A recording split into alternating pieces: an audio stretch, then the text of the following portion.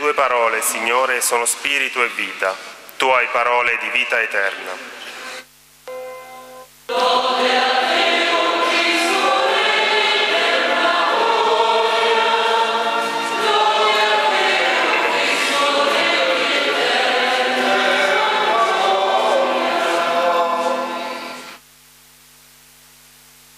Il Signore sia con voi. e con il tuo spirito. Dal Vangelo secondo Matteo.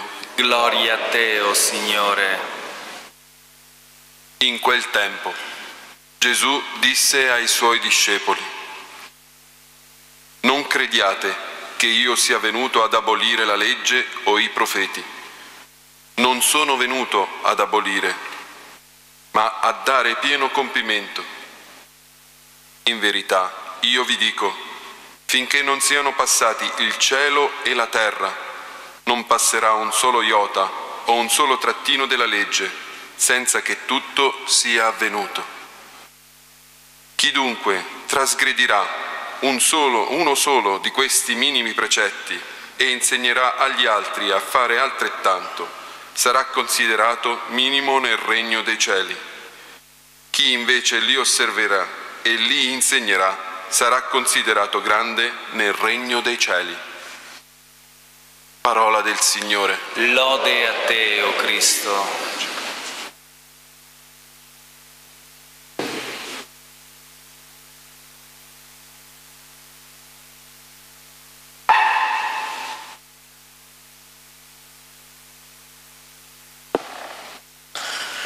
L'ha detto Gesù. Conta anche una virgola, un trattino scritto nel libro sacro della Bibbia, perché questa è la lettera che Dio ha scritto all'umanità. Ci ha fatto sapere chi è,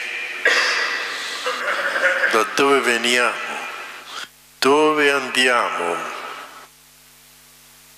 Noi veniamo dalla terra, ma abbiamo ricevuto uno spirito immortale da Lui, per cui i, quelli che ci generano nella vita terrena sono padre e madre, non sono altri, non sono le invenzioni pazzesche degli uomini e l'anima che è il segno di un amore di Dio che vuole immortale questo spirito come egli stesso è immortale, perciò siamo immagine e somiglianza di Dio.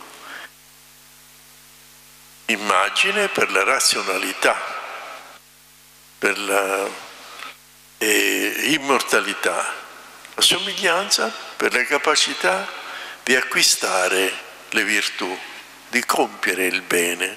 Questi sono i due motivi per cui la scrittura mette due parole, non una, in riferimento a Dio. Poi andiamo a vedere che cosa il Signore ci dice attraverso i patriarchi, i profeti, Mosè. Quello è il libro della rivelazione. Dio si rivela agli uomini, se no che ne sapremmo noi? Potremmo avere l'intuizione di Dio attraverso la logica dell'intelligenza umana ci avviciniamo a capire che tutto quello che esiste non si è fatto da sé, come io non ho creato me stesso, né voi avete creato voi o i nostri genitori. Dobbiamo andare a un'origine diversa dalla semplice eh, successione della materia. C'è lo spirito prima della materia. Ogni teoria filosofica si regge su una, una gamba rotta. E allora andiamo a vedere che cosa Dio ha detto agli uomini prima che venisse il figlio suo a parlare. E lo sappiamo, tutto l'Antico Testamento. L'Antico Testamento, pensate voi, è un testamento ed è antico, significa che ce n'è un altro moderno e il Nuovo Testamento lo annuncerà e lo firmerà Gesù stesso. Per cui la scrittura che precede Gesù si chiama rivelazione attraverso l'ispirazione che Dio dà ai profeti e a Mosè. Con Gesù, figlio di Dio, quindi Dio stesso, noi abbiamo il completamento della rivelazione e Gesù spiega, io non sono venuto a cancellare, a dire che non è buono quello che, che è stato insegnato prima, no, io vengo a completare, fu detto fu detto che ti puoi fare giustizia, fu detto che tu puoi odiare il tuo nemico e io vi dico invece, ecco, Gesù perfeziona la legge, completa le notizie della rivelazione di Dio Padre, sappiamo attraverso il Vecchio Testamento. Però quando Filippo domanda a Gesù, facci vedere il Padre e questo ci basta, capito? La rivelazione sarà piena quando noi possiamo vedere tuo Padre, Dio, che ti ha mandato. E Gesù risponde che chi vede Lui vede il Padre. Allora con Gesù si completa la rivelazione, cioè conosciamo tutta la verità, non dobbiamo aspettare nient'altro. Domanda, e allora perché la Chiesa proclama ogni tanto un dogma della Chiesa, un dogma della verità cristiana. Qui non parliamo di creare una verità, ma di proclamarla. Significa scansare ogni dubbio. La Madonna è immacolata, sì o no? Si può discutere, ma quando la Chiesa arriva alla conclusione eh, biblica, teologica, logica, allora non si discute più. La Madonna è immacolata, significa concepita senza peccato originale. In Gesù ci sono due nature, quella di uomo e quella di Dio, o il contrario. Si può discutere anche nei concili, ma una volta definita la verità, quella verità chiaramente è tale e tale rimarrà per sempre. La Chiesa non può cambiare mai. E che cosa può cambiare allora? No, Chiesa può soltanto spiegare, definire, proclamare e quindi poi guidare nell'osservanza. Quando finì la guerra, l'ultima grande guerra, e poi ci furono, le, cominciarono le grandi votazioni, poi eh, ci furono i referendum, no? Matrimonio, divorzio, aborto, sì, no, quest'Italia incominciò a impastardirsi e ha finito di essere cattolica. È passata la zavorra ma allora si sentivano cristiani ignoranti, per quell'ignoranza tosta, una pietra, che dicevano, beh, adesso cambia, adesso cambia. Essi intendevano la sostanza della verità, no, non sono gli uomini, Papa compreso, a cambiare la sostanza della verità. Quello che il Signore Gesù ha detto quello è verità e sarà sempre verità. Allora Gesù è venuto a completare. Poi c'è un secondo passo. Gesù è venuto a compiere la redenzione. Non servirebbe molto a tutti noi essere dei bravi biblici, teologi, dottori, se poi con la morte ce ne andiamo all'inferno, perché non possiamo entrare in paradiso. E che ce ne faremo? Tutta la sapienza. Allora ci occorre una grazia che ci liberi dal peccato e ci restituisca la dignità dei figli di Dio e faccia di tutti noi battezzati una sola famiglia, eredi del paradiso. Ci pensate qualche volta? Va come va, alla fine insomma io spero e mi salvi l'anima, che Dio mi raccolga e almeno di là riposa in pace, no?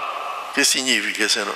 Proprio questo. Finisce la guerra incomincia la pace con Dio e sarà l'eterna visione e beatitudine dell'anima. Noi andremo in paradiso non soltanto perché è finita questa vita, ma perché Dio premia il bene che abbiamo compiuto. Ah, Signore mio, se no che stiamo a fare qua? Potremmo andare a dormire, andare a spasso, andare nelle Seychelles.